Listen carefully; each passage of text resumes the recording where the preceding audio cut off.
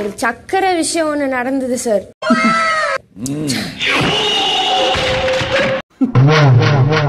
இந்த டாஸ்க் லெட்டரை படிக்கும் பொழுதே நீங்க பதுக்க ஆரம்பிச்சிட்டீங்க. ஆமா சார் ஏன் ஜெயிக்க மாட்டேன்னு நம்பிக்கை வந்துருச்சு.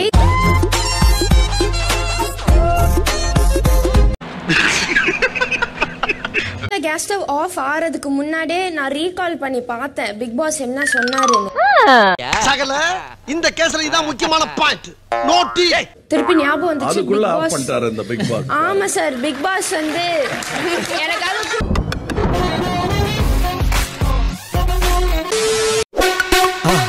மறக்காம சர்ப்ரைஸ் பண்ணுங்க. இல்ல சார் பதுக்குனது என்னமோ நாங்க தான் சார் அவங்க பதுக்கல சார் எல்லாத்தையும் முழுங்கிட்டாங்க சார் நிஜமாவே இது ரூல் பிரேக்குன்னு எங்களுக்கு ரியலைஸ் ஆகல. மைக் எடுத்துட்டு பேசுறது ரகசியம் பேசுறது ரூல் பிரேக் தானே.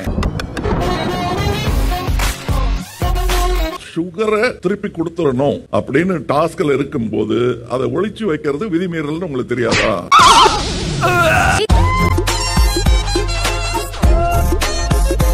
எங்களுக்கு வந்து வாய்ஸ் கிளியரா கேட்கல சார் அந்த வீட்ல இருக்கறனால நாங்க என்ன? நிஜமா சார் அந்த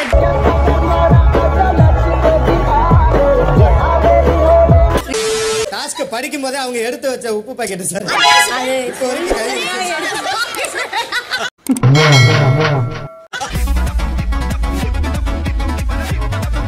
சர்க்கரையும் உப்பும் பறிபோக போகுதுங்கிற வரல கேட்குது உங்களுக்கு.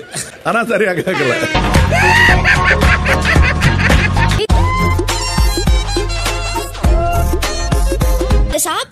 ரூல் பிரேக் நம்ம சாப்பிட போறது இல்ல அதாவது இது எப்படி இருக்குன்னா இந்த லஞ்சம் வாங்குறவங்க சொல்ற மாதிரி இருக்கு. நான் வாங்கல சார். அங்க டிராயர்ல வச்சிருன்னு சொன்னேன்.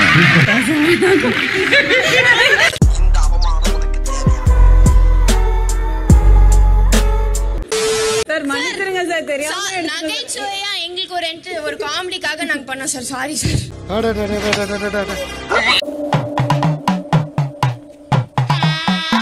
சார் நான் வந்து பிஸ்கட் சாப்பிட்டதுக்கு மன்னிப்பு கேட்டிருக்கேன் கேட்டேன் சார். சாப்பிட்டதுக்கு சாரி சொல்லிட்டீங்க. டிஸ்ட்ரிபியூட் பண்ணதுக்கு? டிஸ்ட்ரிபியூட்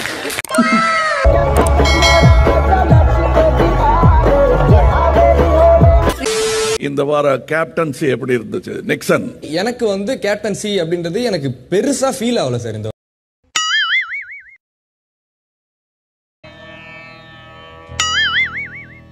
டீம் பிரிச்சாரு. கிளீனிங் டீம் கிச்சன் டீம்லாம் பிரிச்சாரு. அதோட செலெக்ஷன் process வந்து ரொம்ப தப்பா இருந்தது. ஆ வேலு குட்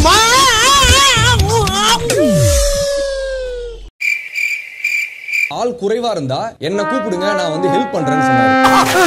அர்ச்சனாக்கா மாயாக்கா மட்டும் ரெஸ்ட் ரூம் க்ளீன் பண்ணாங்க. எக்ஸ்ட்ரா பூர்ணிமாக்கா போல. அவர் நினைச்சிருந்தா பூர்ணிமாக்காவோட பிளேஸை ரீப்ளேஸ் பண்ணிருக்கலாம். ஒரு பெரிய ப்ராப்ளமாவே ஆயிடுச்சு சார் இங்க. சோ நிறைய விஷயம் கால்குலேட்டிவா அவர் பண்ணல அப்படிங்கிற மாதிரி இருந்துச்சு என்ன ஜோக் காட்டுறீங்களா? என்ன ரங்கா ஜோக் காட்டுறீங்களா ரெண்டு பேரும் சொல்லிட்டாங்க பட் ஓஹோ இது இது இது சொல்ல போறேன்னு பேசிட்டீங்க. இல்ல சார் சார் நான் அந்த மாதிரி யார்ட்டையுமே பேசல சார் நான் இன்னும் யோசிக்கவே இல்லை. இல்ல எனக்கு இருந்த சந்தேகத்தை தான் நான் கேட்டேன். இதெல்லாம் எங்களுக்குள்ள ஒரு என்டர்டைன்மெண்ட்டுங்க என்டர்டைன்மெண்டா ஆக்சுவலி ஸ்ட்ராட்டஜி என்னன்னா சார் இந்த வீட்ல நிறைய பேர்ஸ் இருக்காங்க சார் அந்த பேர்ஸை வந்து பிரிச்சு விடுறது தான் அவரோட ஸ்ட்ராட்டஜி அப்படிப்பட்ட ஹிட் பேர் வந்து மணி ரவீனா சார்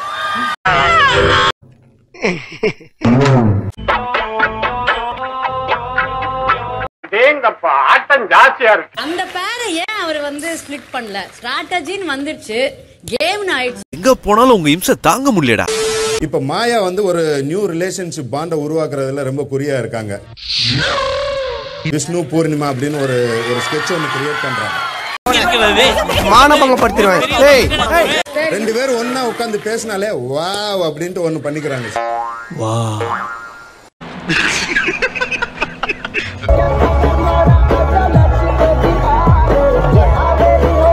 நான் அவர் பிரிச்சது என்னையும் பூர்ணிமாவையும் சார் விஷ்ணுவையும் சார் என்ன கொடுமை சரவணன் அது ஒரு கேங் அப் இருக்கு சார். அங்க ஒரு பாதி பாதியா ஸ்பிளிட் பண்ணா இதோட அவுட்கம் என்னவா இருக்குங்கிறத பார்க்க விரும்பினேன் சார்.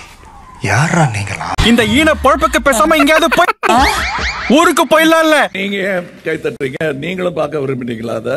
நீங்க ரொம்ப புகழ்றீங்க. அப்படி எத்தனை கேங் மெம்பர்ஸ் உள்ள இருக்காங்க பூர்ணிமா துணை பொதுச் செயலாளர் மாதிரி.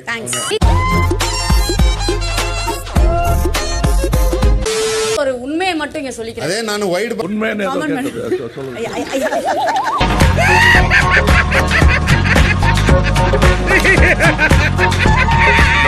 ஏய் ஃபூல் அவன் நம்மள கலாய்க்கிறான்டா. கூட தெரியல நீங்களே என்ன கலாய்க்கிறீங்க.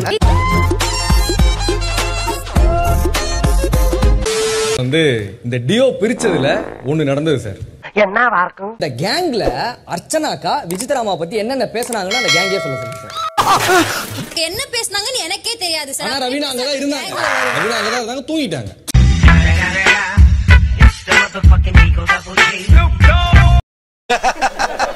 நக்கல்யா அவனுக்கு. அர்ச்சனாக்கா வந்து தினேஷ் அண்ணாட்ட போய் சொல்றாங்க. "அஹ், தினேஷ் சார் விசித்ராமா வெளியே போய் உட்கார்ந்து பேசணும்னு உட்கார்ந்துலே மண்டைய கழுவுறாங்க சார் அப்படின்னு சொன்னாங்க. இடியே ஆனாலும் தாங்கி கொள்ளும் இதயம்.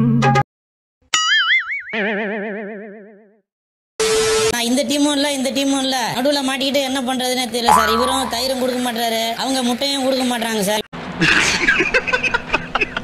நல்ல பார்ட்னர்ஷிப் இப்படியே மைண்டன் பண்ணி ஓட்டுங்க. மறக்காம சர்ப்ரைஸ் பண்ணுங்க. தேங்க்யூ